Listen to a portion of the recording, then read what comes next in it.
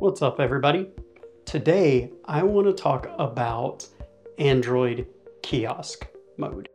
So kiosk mode is uh, a tool that businesses can use to lock Android devices to a single app or interface. Um, some common uses for this would be point of sale systems, digital kiosks, self-checkouts, uh, ticketing systems at airports or train stations, uh, things like that. So despite being called kiosk mode, it's not just for kiosks, it's for any device that a business would like to lock to one specific interface. Businesses typically use kiosk mode for a couple of different reasons. Uh, the first being security, and the second is uh, to have full control over the user experience. So from a security perspective, kiosk mode keeps devices locked down, which prevents end users, be that customers or employees, depending on the type of device, uh, it keeps them from being able to access unauthorized parts of the operating system or download and install third-party applications uh, or really any unapproved process uh, that somebody would normally want to try to do on a device. Uh, kiosk mode keeps them from doing that. Android actually has a native uh, kind of kiosk mode type feature called app pinning.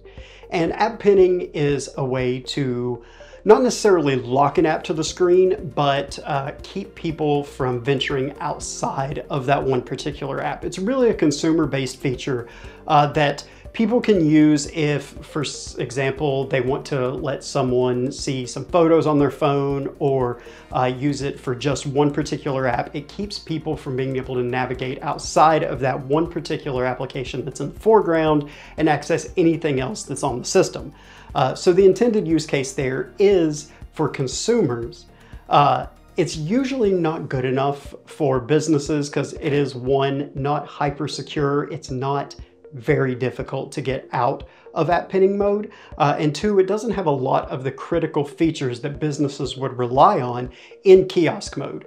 Uh, things like the ability to disable notifications or restrict access to calls and SMS, uh, hide the notification bar, uh, block local app installations, disable sleep mode, uh, or control screen orientation and a lot more. Those are usually the types of features that you'll find in a dedicated kiosk mode software solution. Some additional benefits of running a dedicated kiosk mode solution uh, on Android devices would be extended device lifespans uh, because when people are not misusing devices, they're less likely to have something go wrong with them. Uh, also reduce maintenance costs for IT personnel. When it's locked to a specific experience, then uh, less can go wrong.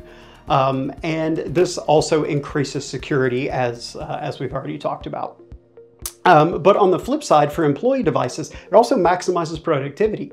Uh, if you know employees have a handheld scanning device that runs a smart operating system and has access to an app store, they're going to want to be inclined to uh, install third-party applications uh, or even games or something like that, and this would prevent that from happening.